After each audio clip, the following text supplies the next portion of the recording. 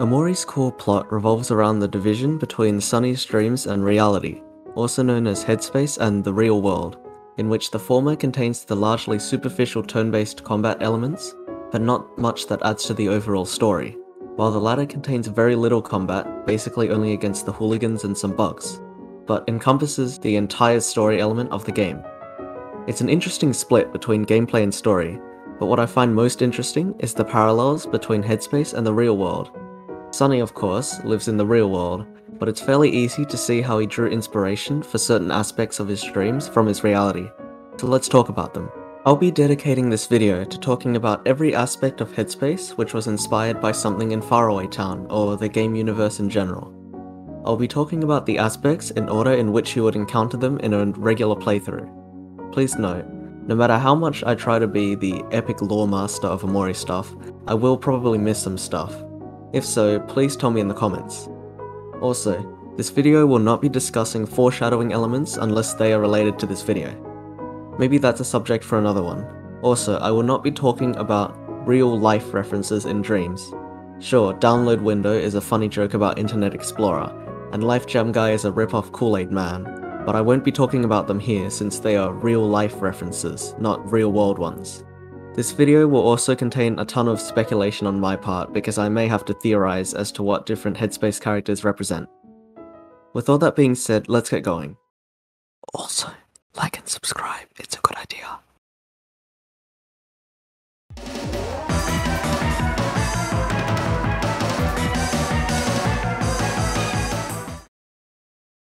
The beginning of the game is already quite telling. Omori finds himself in white space, and oh look, Omori is actually based on Sunny, who is a Hikikomori. Get it? Alright, jokes aside, there is still some stuff to talk about here. Mewo is obviously inspired by Mari's real-life cat, who Sunny was oddly attached to. A laptop may be a loose representation of Mari and Sunny's home computer, seeing as one of the few things you can do on them is play a simple video game, after finding the knife and going through the door, Omori finds himself in the neighbor's room, where he meets Kel, Aubrey, and Hero, who were inspired by themselves, obviously. They are playing cards, just as they all used to in their old treehouse. In fact, the whole neighbor's room itself is a representation of the old treehouse in Sunny and Mari's backyard, fit with a TV, sweetheart mask, baseball and bat, clock, toaster, potted plant, and even the big yellow cat seen on the calendar. There is also, oddly enough, a photo of someone familiar on the upper table. The photo is accompanied by two candles, one on each side of it. We see a similar arrangement of photos and candles later in the game, where people appear to be paying respect to loved ones who've passed away. Combined with a potential scare seen later in the game, I think we can determine who this familiar someone is. An even stranger occurrence is that the jump rope found in the treehouse is not present in the neighbor's room, and I wonder why Sunny decided to repress that memory. The room is much larger than the treehouse, which could be Sunny's perception of the treehouse as much bigger than it actually was, due to being much younger and smaller back then. Kel and Aubrey fight as they normally do in the real world, but their fights are more mean-hearted and more often in Headspace. Leaving the room, Omori is given an allowance by a snake, and I genuinely am unsure what the heck the snake is supposed to represent. It could be a metaphor for Sunny's parents with how they give allowance, and how he might subconsciously view his parents as cunning and manipulative, possibly helping to cover up the manslaughter of his sister. But that doesn't make sense, since we see the snake falling off the otherworld ladder in a comedic manner later in the game, so I don't think this is a deep metaphor in any way. We find out that the neighbor's room is a tree stump, which is an incredibly obvious allusion to the tree that Mari was hanged on, which was subsequently chopped down by her father. Going down to the playground, the party meets Basil and Mari, inspired by Basil and Mari, in case you didn't realize. They are sitting at a picnic, which also acts as a save point. This is of course a reference to Mari's love of picnics, Looking through Basil's photo album, we can see that the photos, for the most part, are near identical to the ones found in the real world, save for a few minor changes, such as Kel drinking milk instead of Orange Joe, and some photos which are completely absent. It is also established here that Mari and Hero have something going on between them, which is an obvious parallel to their real world wanting to date but dad won't allow it so let's pretend it's platonic relationship. Anyway, I'll whip through some random NPCs. Okay, so, Berly is based on Kim, since they both have the same hairstyle and gruff personality, as well as the fact that their names combined becomes Kimberly.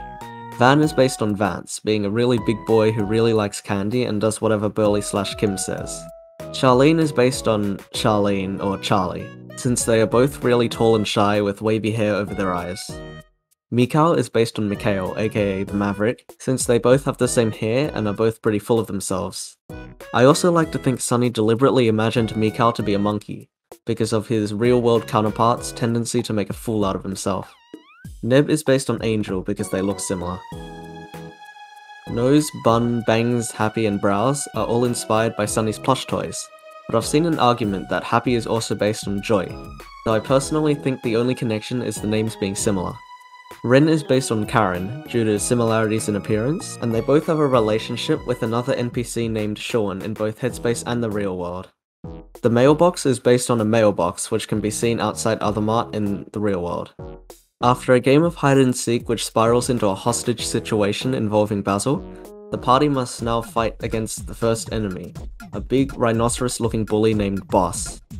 Now I'm not sure what Boss was inspired by, but I think this is Sunny's warped perception of what a bully might look and act like. I mean, this kid hasn't interacted with any human besides his parents for the last 4 years. Another interesting thing is that Boss's most notable colour is pink, much like the most prominent colour featured on another certain bully. But speaking of hair, you should have noticed by now that all of the main characters except for Omori and Basil have purple hair, which was the colour Mari wanted to dye her hair in the real world, which never happened for obvious reasons. Basil and the party venture into the vast forest, which may be a representation of the forest behind Faraway Park, or possibly even just Sunny's backyard. The emotions chart given to Omori by Hero is actually a neat bit of foreshadowing and reference to the real world. Each member of the group reacted differently to Mari's death, Sunny, or Omori, chose to repress all memories and emotions, becoming completely neutral. Kel, upset that his old friend group had fallen apart, chose to make new friends to maintain some happiness in his life. Hero, thinking he could have saved Mari from the apparent suicide, went into a depressive state and shut himself away from the rest of the world. And Aubrey, thinking no one was taking Mari's death as seriously as she was, became an aggressive thug and hung out with the wrong crowd. What is quite interesting is that Basil is not present in the emotion chart.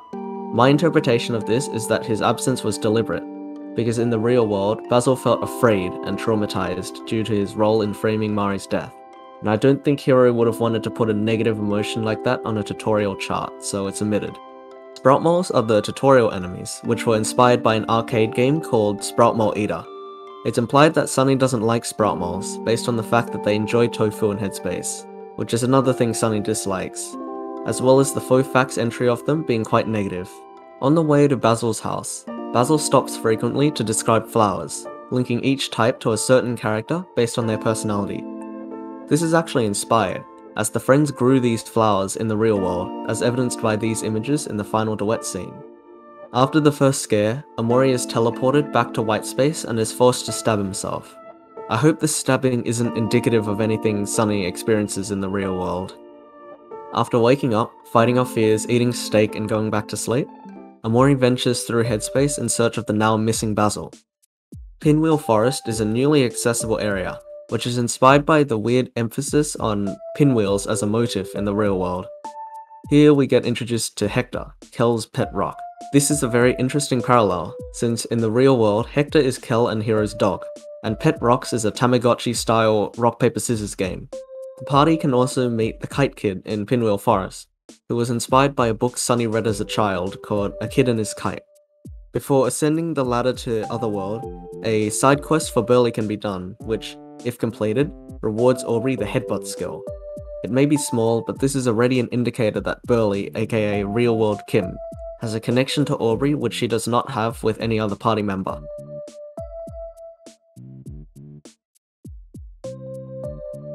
Once reaching Otherworld, you can fight a mini-boss called Pluto, who is based on Kel's character in the Pet Rocks game. Interestingly enough, Pluto takes special interest in Kel, which makes sense since Kel is technically his owner in the real world. A few NPCs also have some parallels. Jock Jams is an NPC you can find on the Otherworld outskirts. On his boombox you can play the song Yo DJ Pump This Party, which can also be played on the boombox in Kel and Hero's bedroom. Percy is a massive Sweetheart fan, and his house is quite literally a massive Sweetheart mask.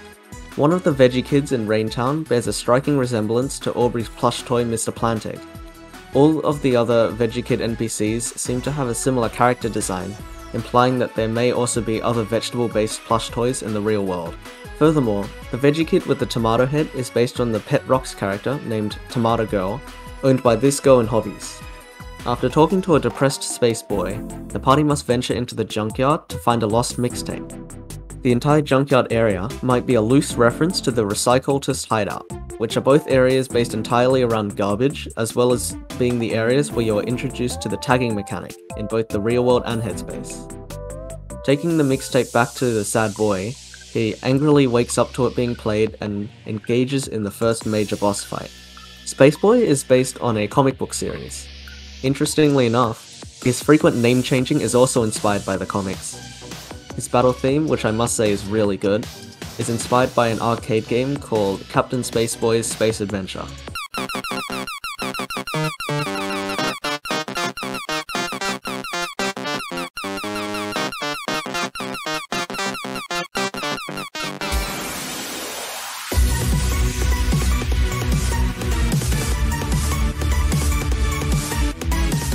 Think I'll also note here that every bunny enemy in the game is also drawn from the Spaceboy comics.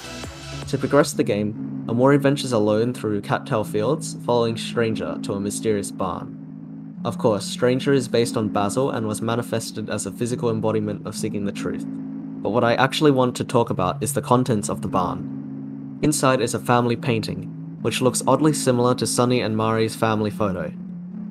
There is also a music stand holding sheet music, which is an allusion to the recital Mari and Sunny were going to perform in the real world. Something chases Omori, jump scare, back to white space, stabby stab, and then wake up. Real world things happen, Sunny fights a big metaphorical spider then goes back to sleep. The most prominent immediate change here is Aubrey's relationship with Omori. She's just madly in love with him now. This is because of Sunny's real world crush on Aubrey, however he wasn't sure if she liked him back, so in Headspace, he imagines that Aubrey has a crush on him, or at least his stand-in, Omori. Into Firefly Forest, Hero's arachnophobia is made immediately apparent, as he gets scared of even entering the area, as well as starting every fight against the spider-like enemies with the afraid emotion. This parallels the real world, in which he is also scared of bugs and spiders. Random theory. Sunny might have a fear of teddy bears, evidenced by the existence of rare bears, which pretend to be innocent looking creatures before angrily engaging in a battle when approached. Sunny also doesn't seem to have any teddy bears despite owning a lot of plush toys. When approaching Sweetheart's castle, the party is ambushed by an abomination called King Crawler, who was not only inspired by the Sprout Mole Eater arcade game, it was the playable character, moving around and eating Sprout Moles in a snake-like style. After the fight, the party enters Sproutmole Village, there's nothing much here since most of the denizens are just sprout moles. There are a few things though. There's a secret invention known as the BED being developed by the mayor, which is very obviously inspired by Sunny's very strange obsession with beds and sleeping. Entering the castle, the party gets to watch Sweetheart's Quest for Hearts, which is basically just every dating show in existence. Sweetheart herself is based on a movie character, but her loud and overbearing personality may have been inspired by the candy shop owner Miss Candace, who also has some visual similarities. After being thrown into the dungeon, the party must escape and make their way back to the main level of the castle. This is the one instance I could find of Headspace offering lore that the real world never mentions. Kel does not like pickles. Never in the real world is this acknowledged, this is game breaking. Anyway, after fleeing the dungeon, the party can find Rococo hidden in the walls. He is an artist named after a French art style, which was known for its classical and ornamental appearance and theatrical presentation. Oddly enough, Rococo never paints in a Rococo style. He may also be based on the artist NPC in the real world, as they are both aspiring painters who gradually improve at their craft the more they are spoken to by Omori or Sunny. Sweetheart later attempts to marry herself, which is quite funny when it happens, but when you think about it, it seems really sad that she thinks she's the only person who loves her. Here's a bit of speculation. This could be a metaphor for Sunny's loneliness, having no one to give affection to, so in a way, Sweetheart trying to marry herself might be an allegory for Sunny or Omori, being so isolated from everyone else that he is the only person that he can love. After beating Sweetheart in a battle, the party, or Omori rather, can venture into the Lost Library, a dark and mysterious library filled with books of Sunny's memories. Here, Omori can read through six of Sunny's memories. The construction of the treehouse, Kel spilling juice on the carpet, a car ride, daydreaming at school, almost drowning at the lake hangout spot, and his thoughts on playing the violin. In a way, the Lost Library is a place which stores all of Sunny's repressed memories, as evidenced by the black space-esque vibe given by the presence of somethings in the room.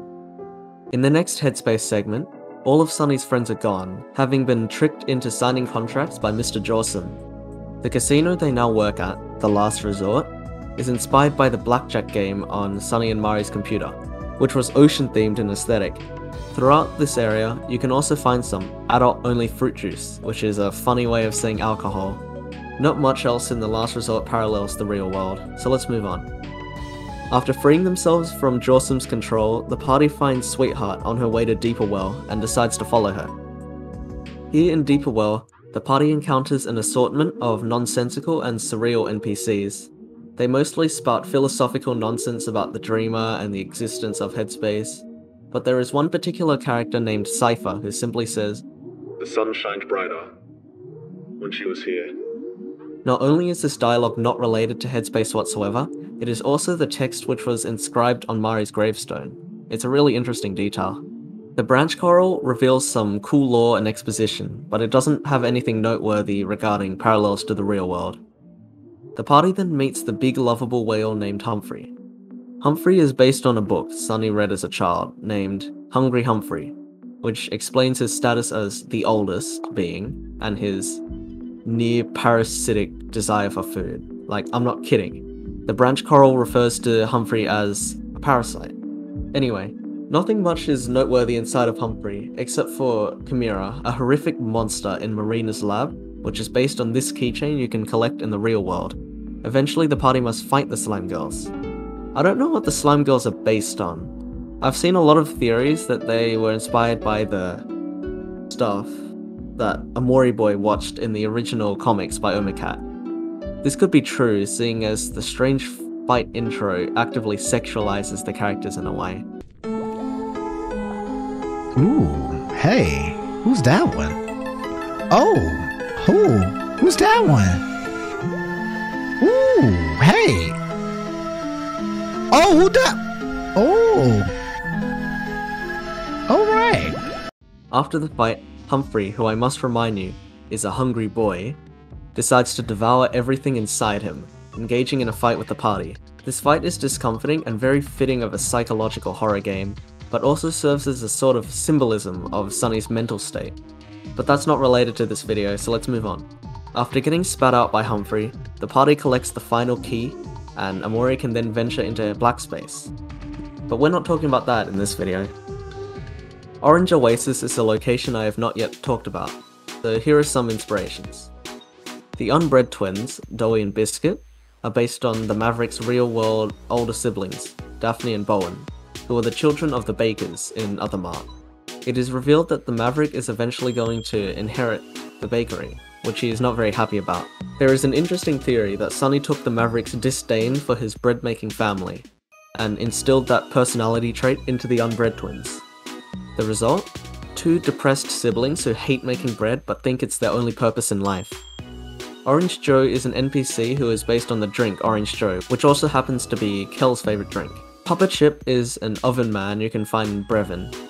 He is obviously inspired by Puppet Chip, a real-world chef who has written many recipe books, one of which is bought by Keller and Sunny and given to Hero.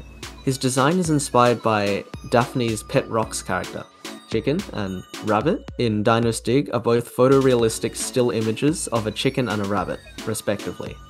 Animals such as flies and wasps are also photorealistic in battles in Faraway Town. There are a couple of things I didn't know where to mention in the video, so I'll list them here. The emphasis on watermelons throughout Headspace is Sunny being sentimental about eating watermelons with his friends. Each party member fights with a specific type of weapon.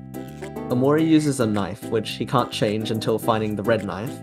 Kel uses balls, and his final weapon is a basketball, which is his favourite sport in the real world and his weapon of choice there as well.